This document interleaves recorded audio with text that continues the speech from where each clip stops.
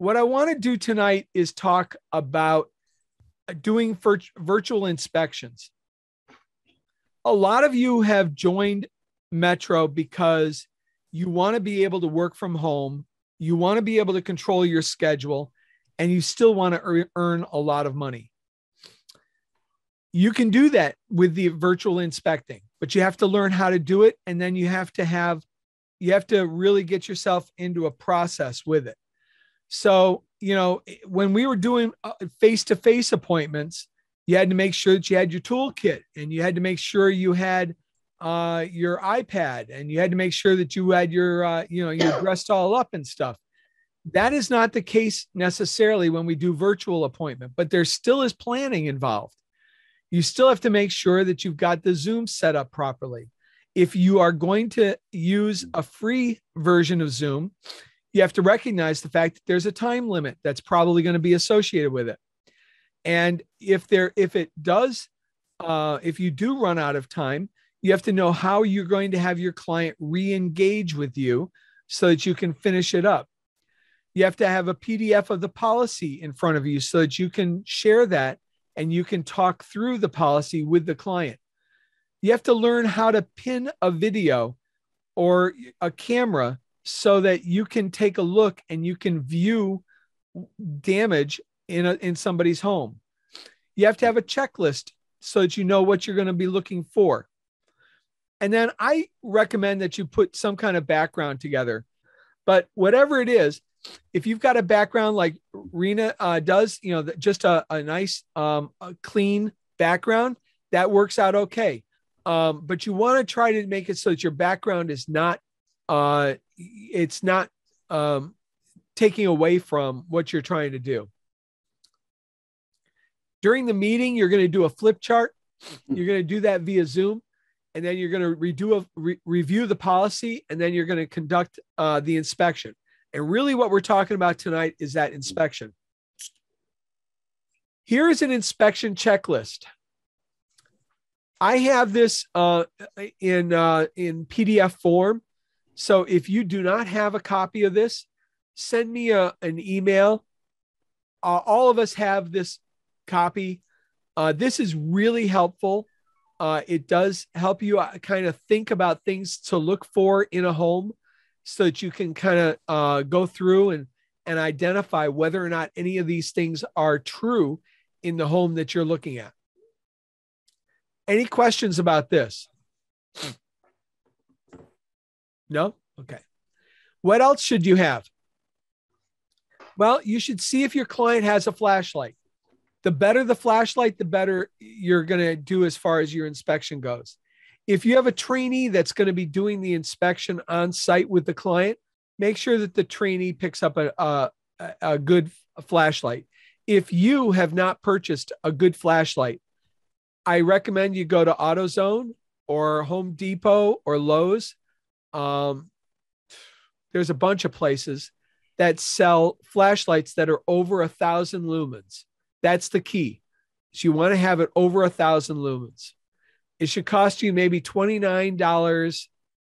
Sometimes you can get them as low as $18. Uh, I would never spend more than $35 on a flashlight. I don't know what you would spend. I, I don't know how, why they would charge that much for a flashlight, but you know, some people do. You want to have a game plan as to how you're going to approach the house you might want to start with the front of the house or start with the outside of the house if it's especially if you're during the day and and uh, you're doing this, this in the early evening and the sunlight may go away. Uh, do that right up front. Review um, what kind of building materials are there? Is it is it brick and siding, or is it just brick? Is it just siding? Is the siding aluminum siding or is it vinyl siding? Um, do you see lifted shingles on the roof? Are there any missing shingles? Look at the soffit and the gutters. I was just doing a fire claim for Renee down in um, Maryland, and uh, the soffit, uh, the house next door caught fire. And the soffit and the gutters were damaged um, considerably on the house next door, which was the house we were working on. So there was melted siding, there was gutter uh, replace, and there was uh, lifted shingles. So these are all things that you can take care of uh, and you can view and take pictures of. Now, how are you going to take pictures of this? Well, we're going to do an example of this. Robert and I are going to kind of go through his house and um, uh, he's going to show how uh, you I would have a client use their camera to uh, to help me identify damage in the house. When you go inside the house, you want to start maybe in the kitchen. Uh, why? Because there's a lot of stuff that goes wrong in kitchens. Why? Because there's fire, there's smoke, there's water. there's just about everything that can go wrong on the house can go wrong in a kitchen. So you want to look and identify where is their hardwood? Where is their ceramic tile? Where is their vinyl flooring? Those are your key things for your flooring. Understand flooring is where the money is in a home. That's where the largest expense is in rebuilding and in renovating and in repairing a home. The most money is really in the floors. Uh, the next uh, is is probably your walls if you've got wallpaper, but really painting walls and and your ceiling and stuff uh, that doesn't cost a lot of money oftentimes. So it's the flooring where you're going to get money. Do they have a fireplace? If they have a fireplace, you may want to uh, make sure that you've got a smoke sponge. Window air conditioners you want to make sure that you take a look underneath those air conditioners uh, because the, oftentimes water will seep out of the air conditioner and will damage uh, the windowsill or maybe the wall uh, underneath the, the uh, air conditioning unit. Look below the bathrooms. Look for damage on the ceilings and on the walls. Is there any water pockets? If they have live plants, put your hand very carefully on the floor underneath those plants see if there's been any overwatering of those plants. And notice I say kids, but not pets. Why? Because this is funny. Kids are involuntary. Did you know that? That's the, the kids are part of the family. But pets, you voluntarily put pets in your home. And so they are not an accident. So anything a pet does in your home is not covered by your insurance because it's not an accident. My pet is my kid. yeah, for a lot of people, that's true, but not by insurance. You don't, the obvious damage is always, I mean, you're, you're, it's always nice when you have that, but it's rare that you're going to have the obvious damage. It's much more likely that you're going to find something that's a lot more subtle. Like, for example, how would you describe the damage, uh, or how would you describe someone to take a look at that door jamb for that uh, sliding glass door. There's damage there. Do you see it? It's that discoloring right up above the uh, the carpet. That's water damage. Because of that damage, there might be damage underneath that carpet, and that carpet itself might be damaged. You might want to lift that carpet and see if if there's a, a uh, delamination of the uh, the backing of that carpet with the uh, the the top of the carpet. How would you describe the left hand picture there with the siding? Is that a claim? Yes. Yeah, that's called paint overspray, and that is a claim. Uh, that that siding you can't repair it. If you try painting that siding oftentimes if the sun beats down on it, it'll actually warp and melt the siding. The addition of paint to a siding that is not supposed that is pre-painted oftentimes creates so much heat that it will actually melt the siding. So if you have somebody that's actually painted their siding, uh, you have the you should be really looking at that for melted uh, for effects of melted siding. The picture on the right is a cabinet, and you can see there that water damage has gone from the corner all the way down, and you can see the line of where the water has evaporated. That is permanent damage to that cabinet, and that is a replaceable item. obviously you know how to talk about the ceiling Hmm. here, but now that the ceiling is so close to the wall, do you think that there's wall damage? Uh, you can't really see too much, but it's right here. There's actually there's a, a water bubble right here. The siding's been pulled off of this through wind damage. What will need to be repaired? How much of the siding will have to be replaced? Do you know? All of it, right? All of it. All of it, the entire side. How about this damage here on the uh, on this uh, on this ceiling? This is water damage. Is that a claim? It very well might be. Uh, you've got uh, looks like uh, electrical paint uh, or some kind of tape residue here on the carpet. That's actually a claim. That's called an all risk claim. Hmm. You have a, a puncture here. Uh, you know, Robert was a little bit too aggressive in uh, throwing the baseball and uh, damaged the siding. That That's- was my son, not me. Uh, yeah, that's what they always say. Um, but that's an insurable loss. Actually, you can see that it was probably a tree branch because you can see that the siding has been damaged below that as well. So that, that's a significant loss. That'll require the entire side to be replaced. Can you see the damage here on the roof? Okay. Yes, you have it up here, but now you've got it here. You've got damage here, and you may have damage here. So this is this becomes an extensive loss uh, because you've got at least three roofing surfaces that are going to need replacing. You may get the entire roof replaced because of that damage. Here's a uh, a broken tile. Um, is that broken tile an insurable loss? Very well might be. Yes. Well, Mhm. you can't say yes just off off. Uh, you, you have to find out why. And if the there's other tile cracks on their floor too. Well, yeah, you. I don't see any on this one, but if if that floor was laid improperly, then this could be a a um um oh I'm gonna forget the name of Construction error, contractor error. No, it's a, a, dep- uh, depression uh crack or something like that. But what it means is, is that the cement bed was not laid cleanly and smoothly, and so uh, this this uh, tile was cracked because of that uh, that um, cement bed. That is not an insurable loss. If you dropped something and it cracked it, now we have an insurable loss. That's called impact damage, and that would be covered.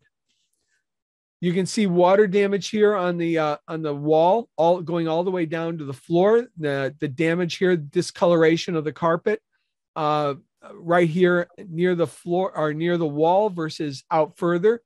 Uh, you can see that it's been you know it's been water um, uh, saturated. You know, again, wind damage on a roof. You have the roof, but now we also have to look at the substructure of the roof this has damaged more than just the roof. This has damaged the rafters. It's damaged uh, insulation. It may have damaged uh, the interior to the home as well.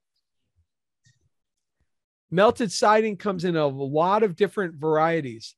Uh, this is really, you know, clearly, uh, this is a lot less so.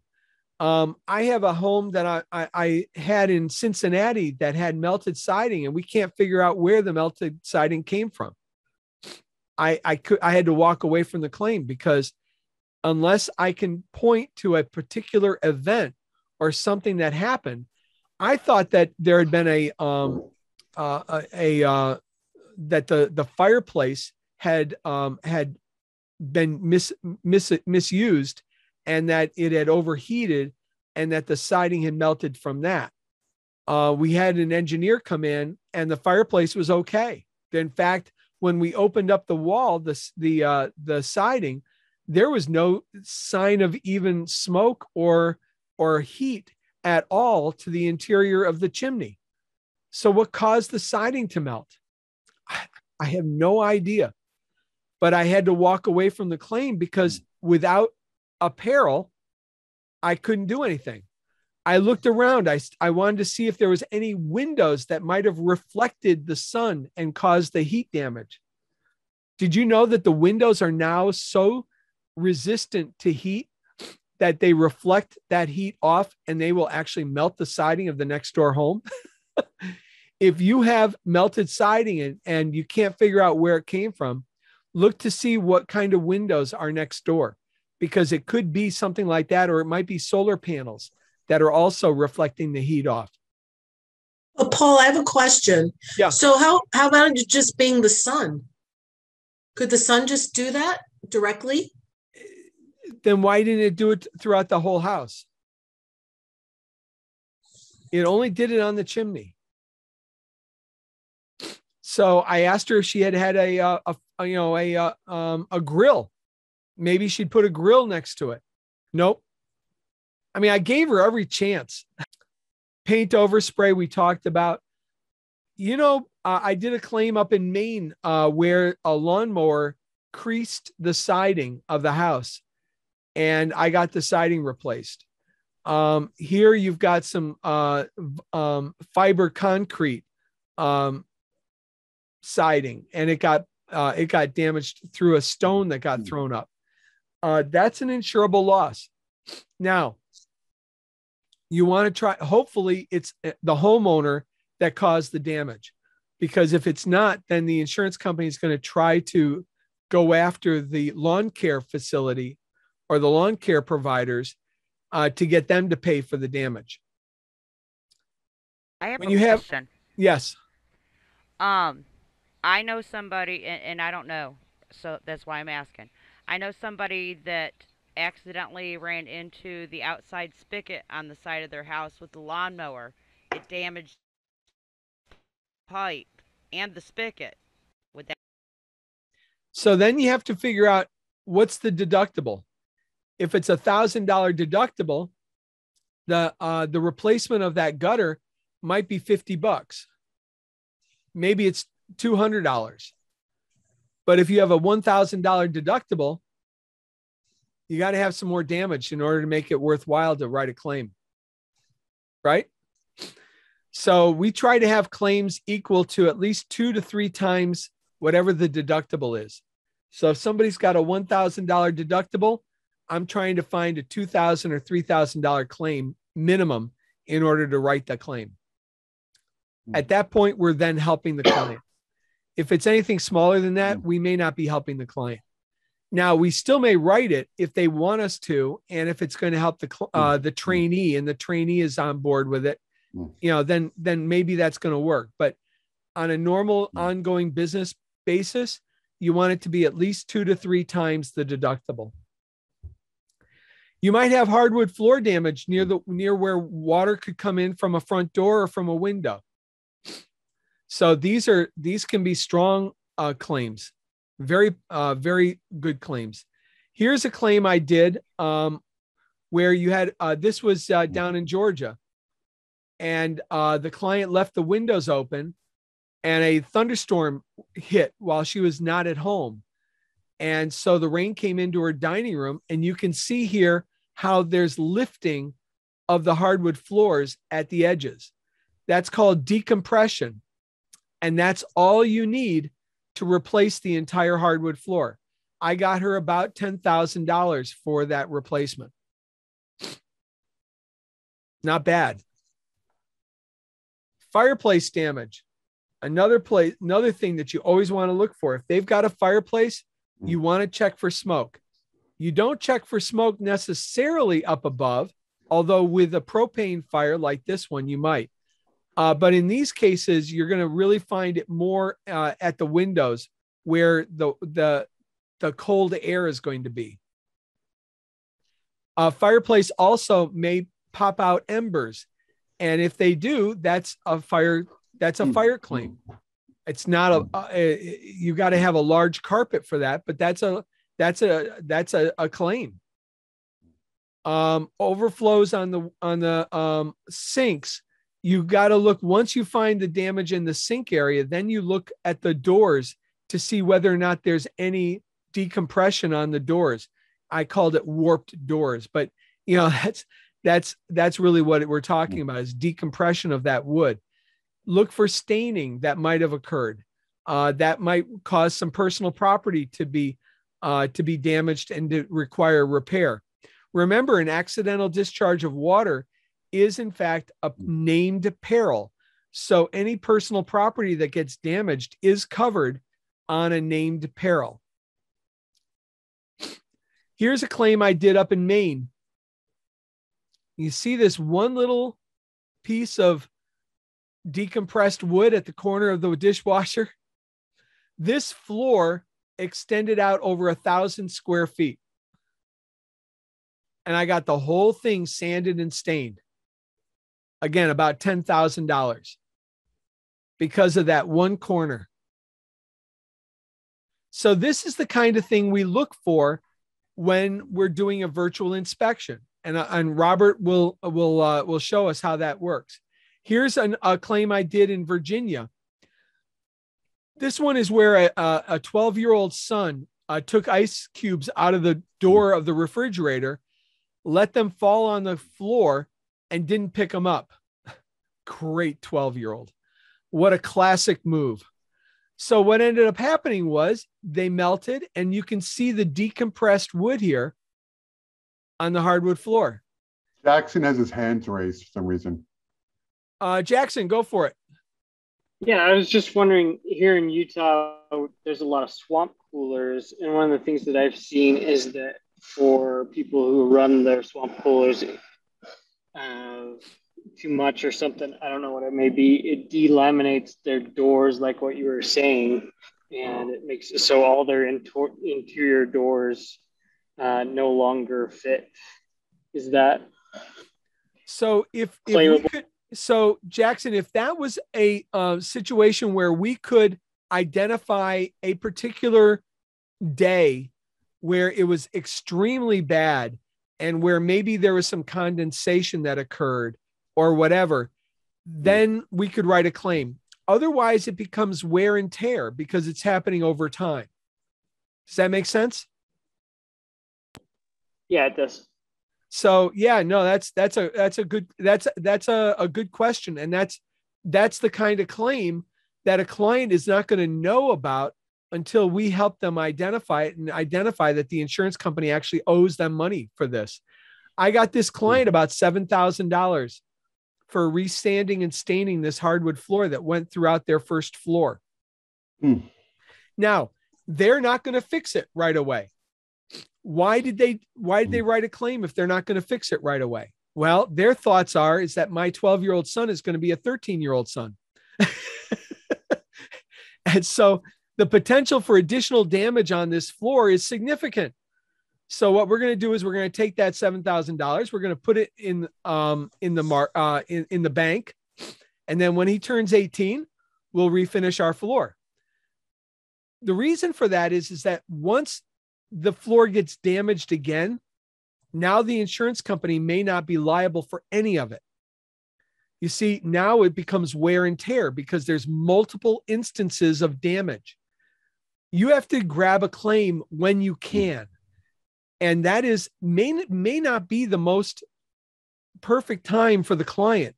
But if they don't do it at that point, Mhm. they lose the opportunity to get compensated by the insurance company for that damage. And that's the whole reason they have that insurance policy is so that they can get compensated. Uh, if they lose it, that's really unfortunate. Well, Yes. tell me, like in a situation like that where they don't replace the floor immediately, if there is depreciation that's withheld by the insurance company, how do they go about getting that? They won't get it. You have to walk away Okay. from that. In that case, they're going to walk away from it. Uh, Okay, now, the floor was relatively new, so there really wasn't a lot of depreciation on it. So they didn't really worry about it. But you're right. Uh, if there's a big difference between the actual value and the uh, replacement value that the insurance company provides, that could be an issue. Paul, question. Yes. Bless, you. Um, so, what determines when there's a full replacement versus just sanding and staining? it's whether or not you can uh, sand and stain it without it getting down into the uh, groove. Uh, hardwood floors have a groove, and uh, you have to be able to stay above that groove. So it usually can be sanded and stained twice. Um, typically, after the second sanding and staining, it's a replacement. Okay. Uh, this is a friend of mine. He's a uh, six degree black belt. Uh, don't mess with him. Uh, but at any rate, he um, he had some trouble in his bathroom and uh, had water uh, accidental discharge of water in the bathroom. He started making some repairs on it, but he thought that that was going to be a good claim. I took a look at the house and realized that the insurance company was not going to pay on it because he made too many. He he'd already cleaned it up too much. So I went through the rest of the house. Well, his son has this uh, this um, this fish tank, and look at the decomp- uh, decompression of the wood. There, the fish tank. Uh, he had he had a, a a break in it, or he had a leak. So, I actually got him paid for the hardwood floors on the second floor because of this fish tank. He ended up um, getting paid for the entire second floor because the whole hardwood, the whole floor was continuous in the upstairs, and then all he did was fix the ba- uh, th- that bath uh, that bedroom. So he was able to take the rest of that money and apply it towards the bathroom. So this is an instance where I we were able to find a claim that actually he didn't realize was a claim and get him paid enough that he was actually able to help on the damage that he had originally thought was a claim. Does that make sense? Okay. Burned cabinets from ovens.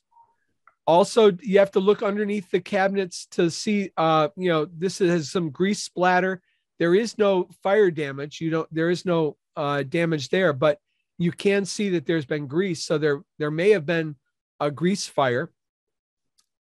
Spattered grease on the wall wallpaper could be indicative of a claim as well. You have to look at the bathrooms uh, under the sink, uh, near the toilet. L- look for discoloration. All right. So, Robert. Now you can hear me. Yeah. Plus a little feedback.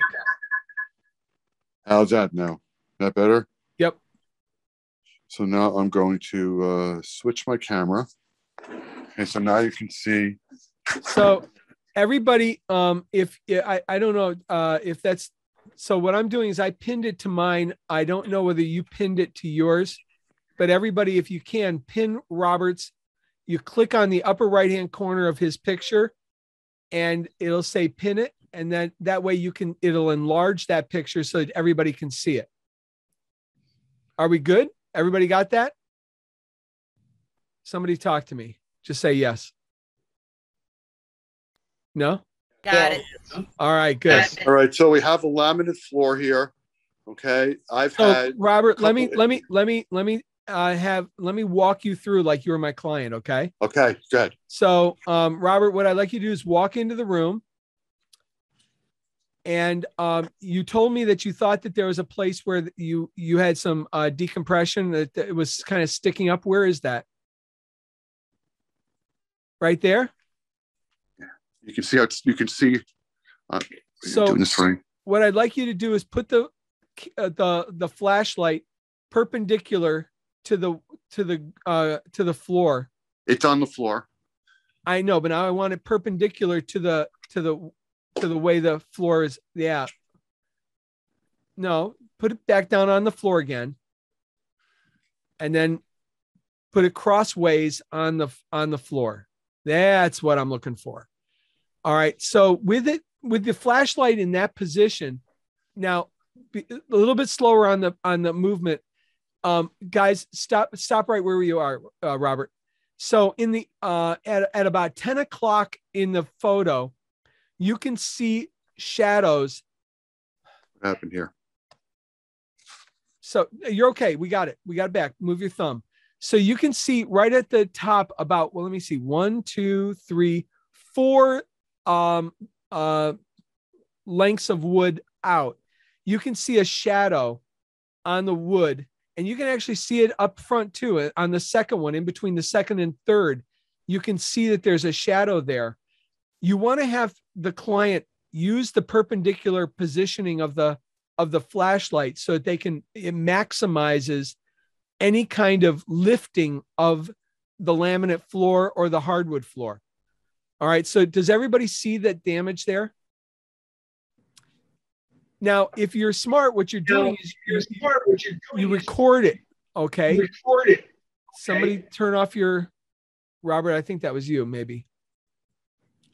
You're going to record this so that you can then t- uh, walk back on the on the video and take still shots of this that you can then use in the claim. All right. Now, um, Robert, now take the the uh, the flashlight and put it towards where that black uh what it, it looks like it might be a door with a blue and a white strip stripe or something Yeah, it's a door. okay so put it the opposite direction uh near the door so we can see the floor from that perspective you see how the edges See how pop the out Edges pop out. that's that's the uh that's the damage that we see. Uh, look at the shadow that you see on that one piece of dust or those two pieces of dust. You know that's that's what we look for. Um that's that damage is enough to replace that laminate floor. Now robert told us that that floor got damaged too long ago and so he has he he's not able to write that up as a claim. What i always do is i always tell people that you know we can write up anything that has happened in the past year and um, i just need to know a date that it happened and we'll write it up um, we are at 754 is there any other thing that you, we can uh, look at in your oh uh, robert get get your flashlight back again all right What now happened? what I'd like you to do, okay, we got it again. Do you have a wall that's a plaster wall or a, uh, a drywall? Yeah, I- uh, Get your thumb out of the picture. can we turn the light on? Um, yeah, I'm not so, so that one of those just there. So put the flashlight up against the, you see how you can see the grain and look at how good this is. This is just a camera uh, photo, guys, but look at how good that is. If there was a water pocket on that wall, you can see a depression, or I mean, eh, um, uh, the wall comes out a little bit there, about halfway through the picture. It's not enough to be damaged, and we'd have to identify what caused it if if it was right there. You can see the shadow on that wall there. So that could be water damage that had occurred. Um, again, we'd have to have the client tell us whether or not it is. You can't see it, Philip. Uh, right about uh, um, Robert, make that that uh, that shadow about dead center in the picture. In the Yeah, there you go. Perfect. So does everybody see that now? yeah, no. I don't have any video, Paul, uh, Robert. What's that? Oh, What's that? I can't see it. They come in and go out on me. Oh, okay. So we got a little bit of Okay, bandwidth we got a issue maybe there. Yeah. All right. So okay, now, sorry, Paul. all right, that room is cement. That room is cement, and uh, I don't have good uh, network connection in that room. Okay. Or, or- I'm going to hang up now and go back to the other connection. all right. So guys, that's that's what we do as far as um that's how we go through the house. Now, if that was an actual uh client, what I would be doing is I would go through and have them go outside. Uh I I can see um damage to the outside of the house. I can see um missing shingles. Um I can see cracks in siding. Uh, when I'm indoors, you saw how you can see the flooring and the damage there. You can see um, discoloration on a ceiling. So, what you want to do is get a routine down that works for you. I highly recommend you start off in kitchens, that you start off looking at the floor, you identify what kind of flooring material it is.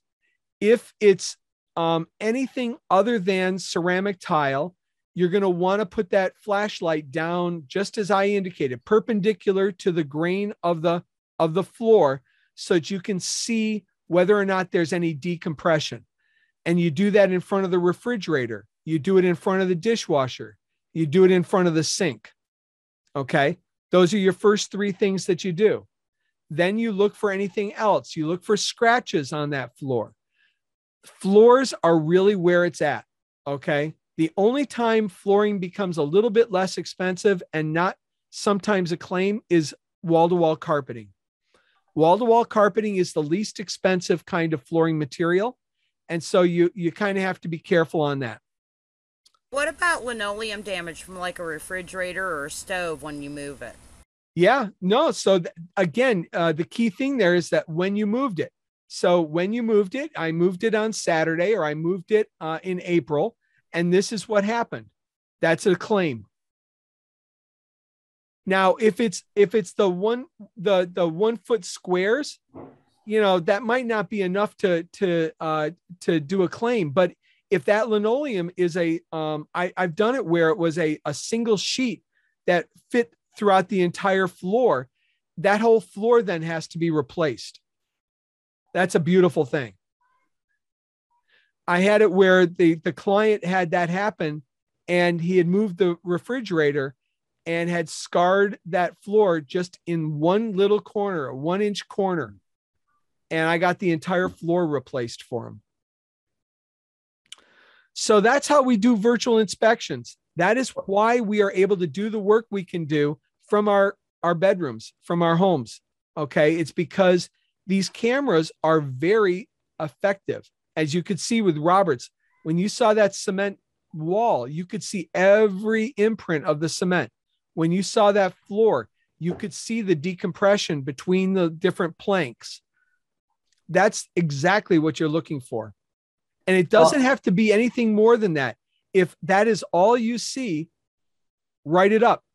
Let me come out or let a, a field adjuster come out, take a look at it, and see if we can't get that client paid.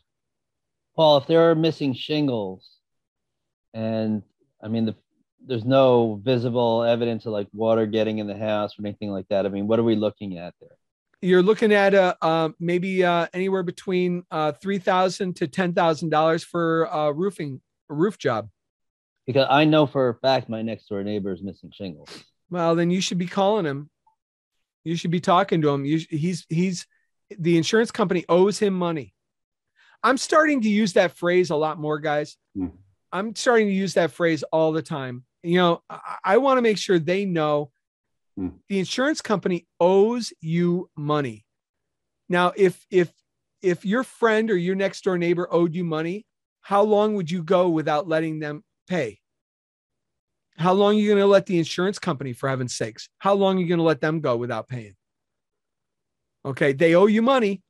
Why don't you get your money so that you can make the repairs and you can maintain your home the way it's supposed to be maintained?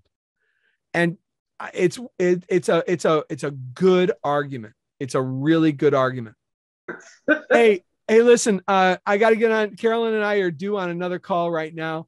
Um, I want to thank you for being on this call. We're going to do this again at seven o'clock uh, Pacific time, Jackson.